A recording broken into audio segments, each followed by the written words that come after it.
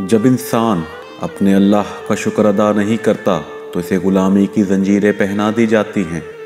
تو نے سید مراد علی شاہ کی آواز سنی، تو اپنے گھوڑے کی لگامیں کھینچ لیں اور حاجی نصر سے مخاطب ہو کر بولا، آقا، مجھے اتنی اجازت دیجیے کہ میں اس شخص کی خدمت میں سلام پیش کر سکوں۔ سبکتگین نے مزدوب کی طرف اشارہ کرتے ہوئے کہا، کسے سلام کرنا چاہتا ہے؟ اس دیوانے کو سوداگر حاجی نصر نے سید امیر علی شاہ کی طرف دیکھتے ہوئے انتہائی تعزیق امیز لہجے میں کہا، میں اس شخص کو پاگل نہیں کہہ سکتا۔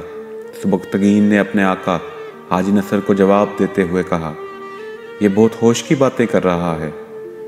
تو نہیں جانتا کہ امیر علی شاہ کون ہے۔ حاجی نصر کے چہرے پر بدستور ناگواری کا رنگ نمایاں تھا۔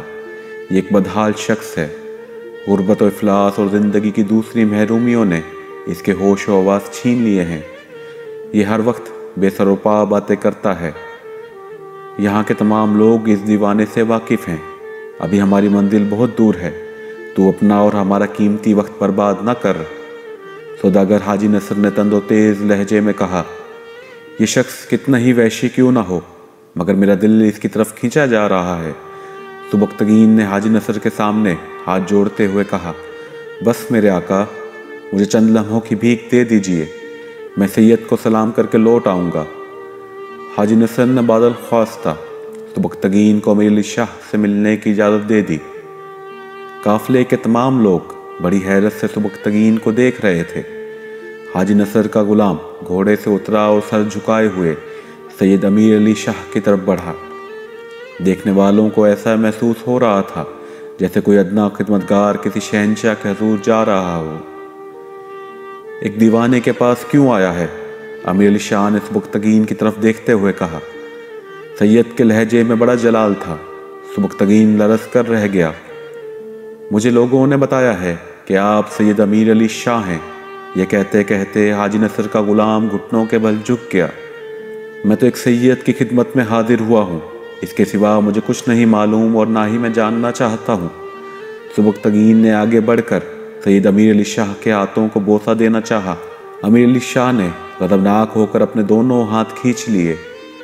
خود تو ہلاکت قریب پہنچ چکا ہے اور مجھے بھی برباد کرنا چاہتا ہے۔ سید کی پرسکون رہنے والی آنکھیں یک یک آگ برسانے لگی تھی تو نے بت پرستی کی ادا کہاں سے سیکھی؟ سبکتگین خوف زدہ سا ہو کر ایک قدم پیچھے ہٹ گیا۔ میں تو احترام کے طور پر اپنے جذبات کا مظاہرہ کر رہا ہوں۔ اس کی آواز لرز رہی تھی۔ اسے احترام کہتے ہیں کہ ایک مجبور دوسرے مجبور کے آگے سر جھکا دے۔ سید کے لہجے میں وہی آتش فشانی تھی۔ تو بھی خاک سے پیدا ہوا اور میں بھی خاک سے اٹھا۔ پھر ایک دن دونوں خاک میں مل جائیں گے۔ اس کا احترام کیوں نہیں کرتا جو اپنی ذات میں ایک نور ہے جسے کبھی زوال نہیں؟ ایک بار اس کے آگے خم ہو جا، پھر تیرا یہ سر کسی کے سامنے نہیں جھکے گا۔ اور اگر کبھی شیطانوں کا لشکر تجھے کسی دوسری طاقت کے روبرو جھکانے کی کوشش کرے تو اپنا سر جسم سے کاٹ کر الگ کر دینا، پھر تجھے نجات حاصل ہو جائے گی۔ سبکتگین نے آہستہ آہستہ نظریں اٹھائیں اور امیر علی شاہ کے چہرے کی طرف دیکھنے کی کوشش کی، مگر وہاں جلال روحانی کی ایسی آگ روشن تھی کہ سبکتگین اس تپش کو برداشت نہ کر سکا اور گھبرا کر سید کے قدموں کی طرف دیکھنے لگا۔ کچھ کہنا چاہتا ہے؟ امیر علی شاہ مسکرائے۔ ایک بدحال دیوانے سے کیوں ڈرتا ہے؟ سید نے سوداگر حاجی نصر کے وہ الفاظ دہرا دیے جو کچھ دیر پہلے اس مالدار تاجر نے امیر علی شاہ کے بارے میں ادا کیے تھے۔ نہ میرے پاس سے مضر کے انبار ہیں، نہ خدمتگاروں کی طویل قطاریں ہیں، نہ اسلحے کے ذخائر ہیں اور نہ تاج و تخت ہے اور نہ جاں باز سپاہی۔ پھر مجھ سے کیوں ڈرتا ہے؟ کہہ دے جو تیرے دل میں ہے۔ سبکتگین رونے لگا اور پھر اس نے لرستی ہوئی آواز میں کہا، سید، میں ادھر سے گزر رہا تھا۔ تو آپ نے فرمایا تھا کہ جب انسان اپنے اللہ کا شکر ادا نہیں کرتا، تو اسے غلامی کی زنجیریں پہنا دی جاتی ہیں۔ ہاں میں نے ٹھیک کہا تھا۔ مجھے کس کا ڈر جو اپنی زبان بند رکھوں؟ سید مراد علی شاہ نے اسی بے نیازانہ لہجے میں کہا، اگر تیرے بزرگ اللہ کا شکر ادا کرتے، تو ان کے سروں سے تاج سلطانی کیوں اتارا جاتا؟ ان کے چہروں پر رسوائی کی خاک کیوں مل دی جاتی؟ اور انہیں ذلت کے توق پہنا کر کوچا بکوچا کیوں پھیرایا جاتا؟ دراصل سبکتگین شاہ ایران ید و جرد کی نسل سے تعلق رکھتا تھا۔ شہن شاہ ید و جرد کو حضرت عمر علی تعالیٰ عنہ کے عہد میں مسلمانوں کے ہاتھوں شکست فاش ہوئی اور وہ فرار ہو گیا۔ پھر حضرت عثمان رضی تعالیٰ عنہ کے دور خلافت میں اسے قتل کیا گیا۔ سید امیر علی شاہ نے اسی واقعے کی طرف اشارہ کیا تھا۔ سید، پھر میں کیا کروں؟ سبکتگین دار و قطار رونے لگا۔ اپنے بزرگوں کے گناہوں کا کفارہ ادا کر امیر علی شاہ نے پرجلال لہجے میں کہا، میں ایک کمزور غلام ہوں سید، میرے ہاتھ بندھے ہوئے ہیں اور میرے پاؤں بھی لوہے کی زنجیروں میں جکڑے ہوئے ہیں۔ پھر میں یہ سب کچھ کیسے کر سکوں گا؟ اللہ کی مخلوق پر رحم کھا سید امیر علی شاہ نے بلند آباد میں کہا، اپنے اندر اور باہر کے بتوں کو توڑ، اللہ تیری زنجیروں کو کاٹ دے گا۔ میں بہت حقیر انسان ہوں، سید۔ سبکتگین کی آنکھوں سے مسلسل آنسو بہ رہے تھے۔ تیرا پیدا کرنے والا تمام دنیا کے اندازوں سے بھی زیادہ طاقتور ہے۔ سید امیر علی شاہ انتہائی کیف و جذب کے عالم میں بول رہے تھے۔ بس اب جا، تیرا آقا اندر ہی اندر پیج کھا رہا ہے۔ اسے یہ پسند نہیں کہ تو ایک دیوانے سے مل کر اپنا وقت برباد کرے۔ امیر علی شاہ نے ایک بار پھر اس گفتگو کا ذکر کیا۔ جو کچھ دیر پہلے حاجی نصر اور سبکتگین کے درمیان ہو چکی تھی۔ مگر سید، میں تو آپ کا احترام کرتا ہوں۔ ایک مضروب کی روشن ضمیری دیکھ کر وہ خوف زدہ ہو گیا۔ اسے ایک لمحے کے لیے خیال آیا کہ کہیں وہ امیر علی شاہ کے جلال کا نشانہ نہ بن جائے۔ میں تو اس سے خوش ہوں۔ سبکتگین کی بگڑتی ہوئی حالت دیکھ کر سید امیر علی شاہ مسکرائے۔ خوف زدہ نہ ہو کہ ہم دیوانے کسی کو آدر نہیں پہنچاتے، بس اپنے اندر کی آگ میں جلتے رہتے ہیں۔ اور کوشش کرتے ہیں کہ اس آگ سے باہر والوں کے اندھیرے بھی دور ہو جائیں۔ سید، مجھے اپنی دعاؤں میں یاد رکھنا۔ سبکتگین نے سر جھکا دیا اور اس طرح رونے لگا جیسے کوئی معصوم بچہ۔ اپنے باپ سے بچھڑ کر نامعلوم منزل کی طرف جا رہا ہو۔ اگر تو میری دعاؤں میں شامل نہ ہوتا، تو زنجیروں میں جکڑے ہوئے تیرے قدم اس طرف کبھی نہ اٹھتے۔ سید امیر علی شاہ کے اونٹوں کی مسکراہٹ گہری ہو گئی تھی اور آنکھوں سے جلال روحانی کے بجائے شفقت اور مہربانی کا رنگ جھلکنے لگا تھا۔ جب تک تو بت شکنی کا عمل جاری رکھے گا، آسمانوں سے بارش کرم ہوتی رہے گی۔ میری گناہ کار آنکھیں صرف تیرے سر پر ہی نہیں، تیری اولاد کے سروں پر بھی تاج در نگار دیکھ رہی ہیں۔ بس اب جا، وہ تیرا حریص آقا گھوڑے کی پشت پر بیٹھا ہوا بار بار پہلو بدل رہا ہے۔ سید امیر علی شاہ نے اپنی مخصوص مسکراہٹ کے ساتھ سوداگر حاجی نصر کی طرف اشارہ کرتے ہوئے کہا، حاجی نصر چند قدم کے فاصلے پر موجود تھا اور بار بار گھوڑوں کو لگامے کھینچ کر اپنی ناپسندیدگی کا اظہار کر رہا تھا۔ تو مقتگین بڑے کرب کے عالم میں زمین سے اٹھا۔ سید، یہاں سے جانے کو دل نہیں چاہتا۔ کاش میں اپنی باقی زندگی آپ کے قدموں میں گزار دیتا۔ ہرگز نہیں، امیر علی شاہ نے بلند آواز میں کہا، کیا میرے ساتھ رہ کر تو بھی اپنی زندگی کو ناکارہ بنا دینا چاہتا ہے۔ یہ کہتے ہوئے سید نے زمین سے کچھ خاک اٹھائی اور سبتگین کے چہرے پر مل دی۔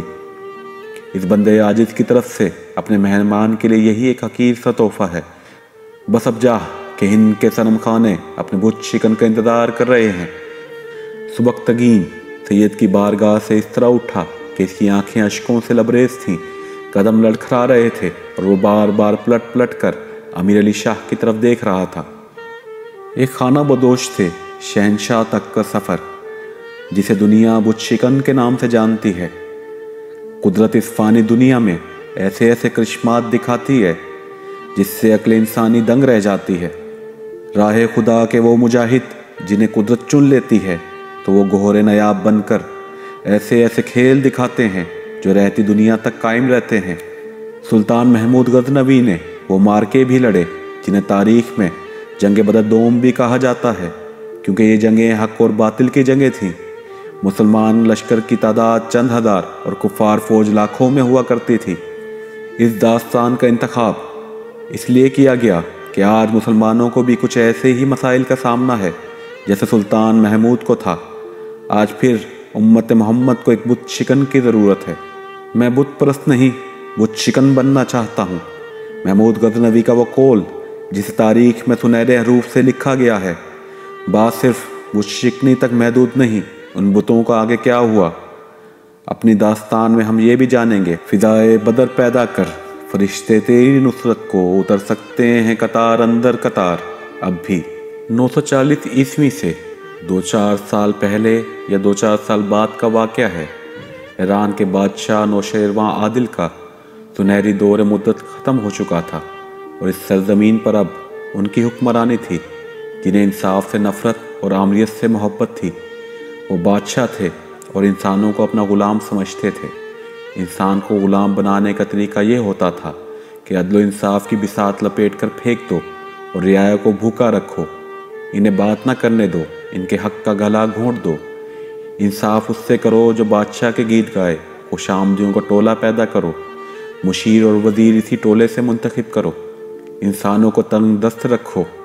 اس حال تک پہنچا دو جہاں انسان کتے کے منہ سے ہڈی چین کر اپنے بھوکے بچے کے منہ میں ڈال دیا کرتے تھے۔ ایران کے اس بادشاہ نے عدل و انصاف کو ملک بدر کر دیا اور نوشرواں عادل کے لگائے ہوئے شجر کو جڑوں سے اکھاڑ پھینکا۔ اس کے خاندان کو مجبور کر دیا کہ وہ ایران سے نکل جائیں۔ چنانچہ یہ لوگ ایران سے نکل کر ادھر ادھر بکھر گئے۔ عرش سے فرش پر گرے تو جدھر کو منہ آیا، ادھر کو رخ کر لیا۔ ذرائع معاش نے انہیں بکھیر دیا، خانہ بدوش کر دیا۔ انصاف کے علمبردار بے انصافی کا شکار ہوئے۔ بڑے مرتے گئے، بچے جوان ہوتے گئے۔ اور نسلیں روپوش اور نمودار ہوتی رہیں۔ اسی نسل کا ایک شخص قرار الحکم بن قرار الارسلان گٹا ہوا جوان، چہرے پر اباؤ اجداد کے عظمت کے نقوش، نمایاں مگر تنگ دست اور روزی کا متلاشی بخارے کے ایک جنگل سے گزر رہا تھا۔ کسی نئے ٹھکانے کی تلاش میں جا رہا تھا، تھک گیا اور ایک درخت تلے بیٹھ گیا۔ قریب گھنی جھاڑیاں اور گھنے پیڑ تھے، ان کی اور سے اسے بچوں کے ہنسنے کھیلنے کی آوازیں سنائی دے رہی تھی۔ الحکم کو معلوم تھا، یہ کوئی خانہ بدوش خاندان ہے، وہ لیٹ گیا۔ بچے ہنستے کھیلتے دور نکل گئے، خاموشی تاری ہو گئی۔ اس خاموشی میں ایک مترنم آواز ابری آواز جوان تھی اور مقدس بھی۔ کوئی عورت تلاوت قرآن پاک کر رہی تھی۔ قرار الحکم پر وسط تاری ہو گیا۔ اس کی تھکن دور ہونے لگی۔ سنتے سنتے وہ بدک اٹھا اور اٹھ کر دوڑ کر جھاڑیوں سے گھوم کر ادھر گیا، جہاں خانہ بدوشوں نے دو پھٹے پرانے پیوند لگے خیمے لگا رکھے تھے۔ ایک خیمے کے باہر ایک جوان لڑکی قرآن پڑھ رہی تھی۔ وہ اپنی آواز کی طرح دلکش اور حسین تھی۔ دو بوڑھے آدمی الگ بیٹھے، رسیاں بنا رہے تھے۔ چند عورتیں اور چار مرد بھی تھے۔ قرار الحکم کو دیکھ کر سب اس کی طرف متوجہ ہوئے۔ وہ ان کے درمیان چلا گیا۔ آپ کی اس بیٹی نے ایک آیت غلط پڑی ہے۔ الحکم نے بوڑھوں سے کہا، مجھے اجازت ہو تو اس کی غلطی درست کر دوں۔ ضرور کرو، ایک بوڑھے نے کہا۔ ہم نے نہیں سنا کہ یہ صحیح پڑھ رہی ہے یا غلط۔ آپ کو سننا چاہیے تھا الحکم نے کہا۔ آپ کہاں سے آئے ہیں؟ ہم ترک ہیں، بوڑھے نے جواب دیا۔ ترک مسلمان۔ وہ تو میں نے دیکھا ہے کہ آپ سب مسلمان ہیں۔ الحکم نے کہا۔ میں ذرا اس کی غلطی درست کر دوں۔ وہ لڑکی کے پاس زمین پر جا بیٹھا۔ لڑکی نے قرآن سے سر اٹھایا۔ قرآن الحکم نے دیکھا کہ لڑکی تو بہت خوبصورت ہے۔ لڑکی نے قرآن بند کر دیا اور اپنے خاندان کے آدمیوں کی طرف دیکھنے لگی۔ جیسے پوچھ رہی ہو کہ یہ شخص کون ہے؟ قرآن کھولو۔ الحکم نے لڑکی سے کہا، تم نے ایک جگہ سے غلط پڑھا ہے۔ لڑکی نے پڑھا، وہ لفظ اس نے پھر غلط پڑھا۔ قرار الحکم نے اس کی غلطی درست کی۔ لڑکی نے اسے شکریہ کی نظر سے دیکھا۔ اس کا مطلب جانتی ہو جو پڑھ رہی ہو۔ کچھ کچھ سمجھتی ہوں۔ لڑکی نے شرمیلے سے لہجے میں جواب دیا۔ ہمارے ساتھ ایک بزرگ ہوا کرتے تھے۔ وہ مجھے قرآن پڑھایا کرتے تھے۔ مطلب بھی سمجھاتے تھے۔ وہ مر گئے ہیں۔ انہیں سانپ نے ڈس لیا تھا۔ اب پڑھ سکتی ہوں، کچھ سمجھ سکتی ہوں، کچھ نہیں سمجھتی۔ میں تمہیں اس کا مطلب سمجھاتا ہوں۔ قرال الحکم نے کہا، ابراہیم کو یاد کرو، بے شک وہ سچے پیغمبر تھے۔ انہوں نے اپنے باپ سے کہا کہ آپ ایسی چیزوں کو پوجتے ہیں جو نہ سن سکتے ہیں اور نہ بول سکتے ہیں اور نہ آپ کے کچھ کام آ سکتے ہیں۔ مجھے ایسا علم ملا ہے جو آپ کو نہیں ملا۔ آپ میرے ساتھ ہو جائیں، میں آپ کو سیدھی راہ پر لے چلوں گا۔ الحکم نے لڑکی کو اس کا مطلب سمجھا کر کہا۔ اور آگے دیکھو، یہاں خداون فرماتا ہے۔ اور جب ابراہیم ان لوگوں سے اور جن بتوں کو وہ پرستش کرتے تھے، ان سے الگ ہو گئے، تو ہم نے ان کو اسحاق اور یعقوب عطا کیے اور سب کو پیغمبر بنایا۔ تم سمجھتی ہو یہ کیا قصہ ہے؟ وہ بتوں کے آگے سجدہ کرتے تھے اور ان سے مرادیں مانگتے تھے۔ تم نے قرآن میں پڑھا ہے کہ عبادت کے لائق صرف اللہ ہے۔ قرار الحکم اسے بتا رہا تھا کہ غیر مسلم کیسے کیسے خداؤں کی عبادت کرتے ہیں۔ اور جو بت نہ سن سکتے ہیں، نہ بول سکتے ہیں۔ بت پرستوں کے اپنے بنائے ہوئے ہیں۔ مگر لڑکی خاموشی سے کبھی اس کے چہرے، کبھی سراپا کو دیکھتی تھی۔ اس کی آنکھوں میں انہیں ماک اور چہرے پر مسرت تھی۔ اس خاندان کے مرد بھی ان کے پاس آ بیٹھے۔ تھوڑی دیر بعد اٹھ کر وہ چلنے لگا۔ بوڑھوں نے اسے روک لیا۔ لڑکی سے دور ہٹ کر وہ مردوں میں جا بیٹھا۔ انہوں نے اس سے پوچھا کہ وہ کون ہے، کہاں سے آیا ہے اور کہاں جا رہا ہے۔ ایران کی زمین ہم پر تنگ ہو گئی ہے کرال حکم نے جواب دیا۔ جس کے اباؤ اجداد نے عدل و انصاف سے انسان کو اشرف المخلوقات کے درجے تک پہنچایا تھا، وہ آج حشرات الارض میں شامل ہو گیا تھا۔ کیا میں کیڑا مکوڑا نہیں ہوں؟ جو دشت و جبل میں پیٹ کی آگ بجھانے اور بے انصافوں اور ظالموں سے بچنے کے لیے مارا مارا پھر رہا ہوں۔ ہم تین چار پشتوں سے اسی حال میں جی رہے ہیں۔ ایک جگہ سے طبیعت اچاٹ ہوتی ہے تو جدھر منہ آئے ادھر کو چل پڑتا ہوں۔ تو یوں کہو تم نوشرواں عادل کی نسل سے ہو، ایک بوڑھے نے کہا۔ ہمارے باپ دادا ان کے بہت قصے سنایا کرتے تھے، مگر ہم نوشرواں عادل کو خیالی بادشاہ سمجھتے ہیں۔ تمہارا کنبہ کہاں ہے؟ اکیلا ہوں۔ الحکم نے جواب دیا۔ بچپن سے مذہب سے لگاؤ ہے۔ مسجدوں میں زیادہ وقت گزرا ہے۔ تم باتیں بہت اچھی کرتے ہو۔ دوسرے بوڑھے نے کہا، رہنا چاہو تو ہمارے ساتھ رہو۔ جانا چاہو تو ایک رات ہمارے ساتھ گزارو۔ وہ رات کے لیے رک گیا۔ وہ کوئی عالم فاضل نہیں تھا، لیکن خانہ بدوش چونکہ کچھ نہیں جانتے تھے، اس لیے ان میں وہ عالم لگتا تھا۔ باتیں داستان گوئی کے انداز سے کرتا تھا۔ سننے والے محصور ہوئے جا رہے تھے۔ جوں جوں رات گزرتی جا رہی تھی، محفل کی رونق کم ہوتی جا رہی تھی۔ پہلے عورتیں اٹھیں، پھر مرد۔ ایک ایک کر کے اٹھنے لگے۔ آخر میں دونوں بوڑھے رہ گئے۔ انہوں نے الحکم سے ذرا دور دے کر کہا کہ وہ ان کے ساتھ رہے۔ الحکم نے محسوس کیا جیسے وہ اس سے کسی ذاتی مقصد کے لیے اپنے پاس رکھنا چاہتے ہیں۔ اس نے ان سے پوچھ ہی لیا کہ وہ ان کے کس کام آ سکتا ہے۔ ہمارے ہاں مردوں کی کمی ہے۔ اور عورتوں کی زیادتی ہے، ایک بوڑھے نے کہا۔ مرد جتنے بھی ساتھ ہوں اچھا ہوتا ہے۔ ہمیں صرف درندوں کا خطرہ نہیں ہوتا۔ انسان درندوں سے بھی زیادہ خطرناک ہیں۔ یہ لڑکی جس کی آواز پر تم ادھر آئے، ہمارے لیے بڑی ہی نازک اور خطرناک ذمہ داری بنی ہوئی ہے۔ تم نے اس کی جوانی اور اس کا حسن دیکھا ہے۔ ہمارے خاندان کے سارے مرد بیویوں والے ہیں۔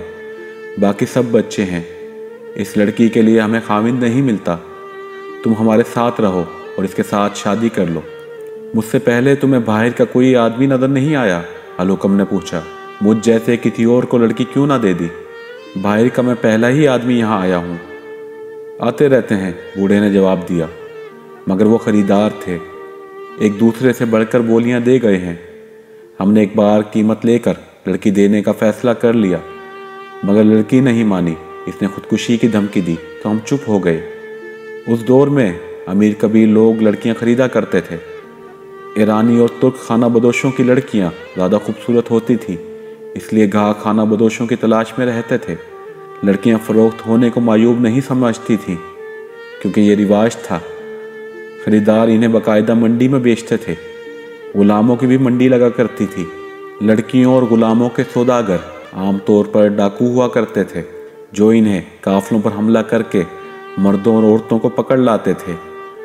خوبصورت لڑکیاں، امیروں اور بادشاہوں کے گھروں میں یا حرموں کے لیے، یا حرموں کی ملازمت کے لیے، یا مہمانوں کے لیے رکھی جاتی تھی کبا خانوں والے بھی ان کے خریدار ہوتے تھے۔ کبھی سنا نہیں کہ خانہ بدوشوں کی کسی لڑکی نے بکنے سے انکار کیا ہو۔ الحکم نے کہا، آپ نے اس کی بات کیوں مانی؟ یہ ایسی باتیں کرتی ہے جن سے ہم ڈر جاتے ہیں۔ بوڑھے نے جواب دیا، تم جانتے ہو ہم لوگ مذہب کے اتنے پکے نہیں ہوتے۔ کسی آدمی کو اس کی خوبصورت لڑکی کی قیمت اچھی مل جائے اور وہ اس قیمت پر بیوی کو طلاق دے دے، تو اس آدمی کا کیا مذہب ہو سکتا ہے؟ لیکن ہم مسلمان ہیں۔ اسلامی اصولوں کے ہم پابند تو نہیں، پھر بھی قرآن اور خدا سے ڈرتے ہیں۔ یہ لڑکی کبھی ہمیں کوئی خواب سناتی ہے، کبھی کہتی ہے کہ اسے جنگل میں ایک سفید ریش نورانی چہرے والے بزرگ نظر آتے ہیں اور کہتے ہیں کہ کسی کی زرخیز لونڈی نہ بننا، نکاح پڑھو، بیوی بننا، کیونکہ تم نے اس بچے کو جنم دینا ہے جو بھٹکے ہوئے انسانوں کو راستہ دکھائے گا۔ ایسے خواب ہر کوئی دیکھتا ہے کرال الحکم نے کہا۔ میں بھی ایسے خواب دیکھا کرتا ہوں۔ دو چاند پہلے کی بات ہے۔ ہم نے لڑکی کا سودا کر دیا تھا، ایک بوڑھے نے کہا۔ خریدار کے پاس رقم کم تھی۔ ہم نے سونے کے دینار مانگے تھے۔ اس کے پاس پورے نہیں تھے۔ لڑکی کو ہم نے خیمے کے اندر بٹھا کر دو آدمی پیرے پر کھڑے کر دیے، کیونکہ لڑکی کہتی تھی کہ بھاگ جاؤں گی۔ ہم نے پیرا کھڑا کر دیا، تو اس نے کہا، میری کوک سے ناجائز بچہ جنم نہیں لے گا۔ اس سے پہلے تم سب تباہ ہو جاؤ گے۔ آدھی رات کو ہم سب گٹاؤں کی گرج سے جاگ اٹھے۔ بارش اتنی طوفانی تھی کہ خیمے اڑ گئے۔ بجلی کڑکنے لگی تو دل دہل گئے۔ پھر ایسی کڑک ہوئی کہ ہم سب کی چیخیں نکل گئیں۔ ساتھ ہی سارا جنگل دن کی طرح روشن ہو کر اندھیر ہو گیا۔ ایک درخت کا بہت بڑا ٹہنا گر پڑا۔ پھر بار بار زمین اور آسمان روشن ہوتے اور بجلی کڑکتی تھی۔ چھپنے کی کوئی جگہ نہیں تھی۔ سب چیختے چلاتے اور بچوں کو ڈھونڈتے اور انہیں سینے سے لگاتے پھر رہے تھے۔ صرف یہ لڑکی تھی جو بے خوف تھی۔ ایک جگہ کھڑی چلا چلا کر کہہ رہی تھی، کوئی آدمی اذان دو، جہاں جہاں ہو وہیں سجدے میں گر پڑو۔ تین آدمی نے اذان دی۔ باقی سب قیامت کی بارش میں اور پانی میں کیچڑ میں گر پڑے اور سجدہ کر لیا۔ طوفان بہت دیر بعد تھما۔ ہم نے اس سے زیادہ خوفناک طوفان بھی دیکھے ہیں۔ ہماری چھت آسمان ہے۔ آسمان ہی ہمیں نعمتوں سے نوازتا ہے۔ اور یہی آسمان ہم پر کبھی کبھی آفت بھی نادل کرتا ہے۔ مگر ہم کبھی ڈرتے نہیں تھے۔ اس رات ہمارے دلوں پر جو دہشت تاری ہوئی وہ کچھ اور معنی رکھتی تھی۔ صبح ہوئی، سب ایک جگہ ٹھٹرے ڈرے بیٹھے ہوئے تھے۔ یہ لڑکی ہم سب کو عجیب سی نگاہوں سے دیکھتی، آہستہ آہستہ ہمارے آگے سے گزری۔ اس کی آنکھوں میں جانے کیا اثر تھا کہ ہم سب نے نظریں نیچے کر لیں۔ ہمیں اس کی دھمکی یاد آنے لگی۔ میری کوک سے ناجائز بچہ جنم نہیں لے گا۔ اس سے پہلے تم سب تباہ ہو جاؤ گے۔ لڑکی کے ہاتھ میں قرآن تھا جو یہ آج پڑھ رہی تھی۔ ہم نے خیمے سنبھالے، سامان اکٹھا کیا اور اسے خشک کرنے لگے۔ بہت دیر بعد دو گھوڑ سوار آئے۔ وہ سونے کے دینار لے آئے تھے۔ انہوں نے تھیلی ہمارے آگے پھینک کر کہا گن لو اور لڑکی ہمیں دے دو۔ میں نے تھیلی اٹھا لی اور گھوڑ سوار کو دے کر کہا، ہم لڑکی نہیں دیں گے۔ لے جاؤ اپنا سونا۔ دوسرے گھوڑ سوار نے دو دینار اور میرے آگے پھینک کر کہا، اور لے لو، جو قیمت مانگو گے دے دیں گے۔ لیکن ہم نے نہ دی۔ ہم نے انکار کر دیا۔ ہم نے لڑکی نہ دی۔ یہ کس کی بیٹی ہے؟ یتیم ہے۔ بوڑھے نے جواب دیا، میری بھتیجی ہے۔ میرے پاس لڑکی کی قیمت ادا کرنے کے لیے کچھ نہیں۔ کرال الحکم نے خالی ہاتھ دکھا کر کہا، آپ مجھے اللہ کی راہ میں تو یہ لڑکی نہیں دیں گے، تمہیں ہمارے ساتھ رہنا پڑے گا۔ بوڑھے نے کہا۔ ہمارے خاندان میں ایک مرد کا اضافہ ہو جائے گا۔ ہر رات ڈاکوؤں کا خطرہ رہتا ہے۔